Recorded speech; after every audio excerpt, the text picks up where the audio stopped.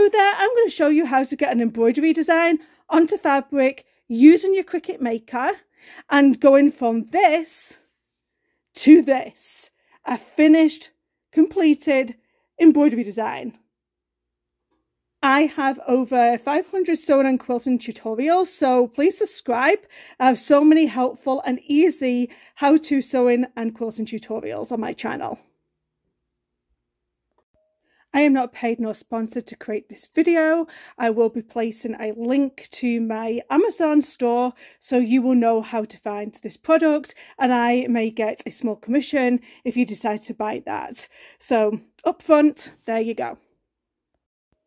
This product is perfect if you like to do embroidery, but it's not only just about doing embroidery. You can also do um, a free motion quilting design using this and it'll help you do free motion embroidery if or free motion quilting if you're not very good at it. So basically it comes with, does it say how many sheets it comes with? 12. It comes with 12 sheets. I didn't use all of this section, so I'll be able to use it again. And basically you can run this through your printer or what I'm going to do is run it through the Cricut. So I'm going to get the Cricut to draw the design. The design is not mine, the design is from the Cricut um, design space. So let's see how to go about doing this. I am not going to use a full sheet because I don't need to do that. I'm going to use a tiny cut from the one that I used the other day. So I'm going to take this. So there's a like a fabric side. Well, it feels like a fabric side, but it's not. It's a water-soluble stabilizer with an adhesive on the back. So you're going to do it so it's fabric side up and then the paper side is going to be down because this is an adhesive so this is the part that we're going to actually physically draw on and then you're going to use your light grip mat now I like to put this in the center and and move my design over to where I want it to be on this particular part of this product and then what I'm going to do is I'm going to stick it down a little bit with some painter's tape. You want this to be on Cricut's light grip mat because it's got paper on the other side. If you do it on the fabric mat, it's going to peel the paper off and that is not the result we want. So I just like to just stick it down a little bit of paper's tape so it definitely will not pop up and move but then I want the ability to take it off easily. So that should be fine for what we need to do. These are the pens that I use and it really doesn't matter what colour that you choose. I didn't want to go with a black so I just went with a grey pen. These are Cricut pens and then the nib looks like this. It looks like it's not going to do it but it actually does it perfectly. Absolutely perfectly. So let's see how to do this. This is my Cricut homepage. This is how you find me under my name, Cassie Cartmel. This is the design. It's called Plant Embroidery Transfer for Sewing Projects. This is not my design. I did not draw this. This was um, a Cricut design space. However, if you are versed in using Procreate, which is a digital design software program, you could easily come up with something like this, no problem, and bring it into the Cricut as a design. Um, so what we are going to do is we're going to click on make it from here then it's going to load up. I'm going to, turn my Cricut on. If you don't turn your Cricut on, it will not go to this next stage and it'll be trying to find your Cricut maker. So turn your Cricut on. Then you will click on on mats. You're going to click on 12 by 12 and you're going to confirm. Like I said, this needs to be on the light grip mat. Now, I need to move this design over to where my design is on the paper here.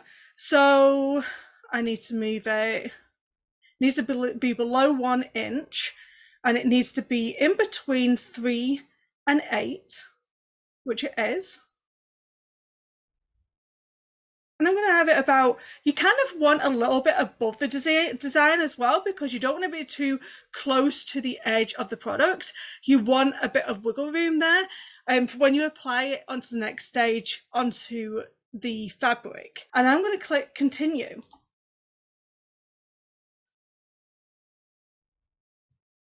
Now the next part is going to be asking you what it's actually working on. So I'm not quite sure if this makes any difference or not, like how much pressure it applies to the pen, to the fabric. But just in case, I do click on the fabric setting for cotton. I don't need to worry about the pressure and it's going to tell me to load I, don't think I changed the colour of the pen so it's basically telling me to load the midnight colour on a 0.4 pen and these are the 0.4s that I showed you so we are ready to go we're going to be able to load the mat so I am going to show you how I load the pen and I'm going to show you how it draws it out because I think it's kind of cool Okay, so here is the Cricut. We're going to take the pen and we're going to put the pen in here. And it just clicks and you lock it in. You place the mat in. Wait for the Cricut button. And there it goes. And then you can press the Cricut button. Once you do that, you can press the C and it'll start to draw the design. So like I said, this is a Cricut design. I did not do this design. And if you were to draw out your own design on Procreate or something like that, then that would work too.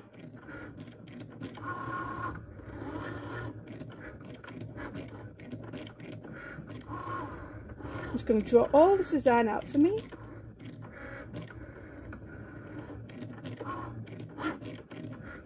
It's really quick. And I don't care about this showing up like this because we stitch over it and you really aren't going to see this grey anyway. So you may as well do it on a darker colour and then it just makes things easier for when you're actually stitching it out. Doesn't take long.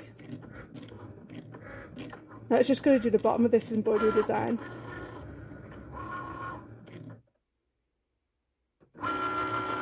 There you go, it's done. So let's stick this now onto fabric. One thing you don't do is leave your pen in your machine. Take the pen out and put the cap on and put it away because you don't want the pen to dry out. So I am just going to peel this off. It comes off nicely because it's on that light grip mat. Make sure your fabric isn't creased. We're going to press this. Once our fabric is pressed, we are going to peel off the sheet to reveal that adhesive layer.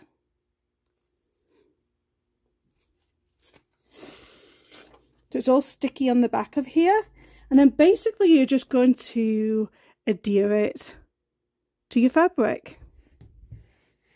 You don't want to put it too close to the edge of the corners because you want to be able to hoop this. So just keep it nice and central to your fabric and then you're going to embroider it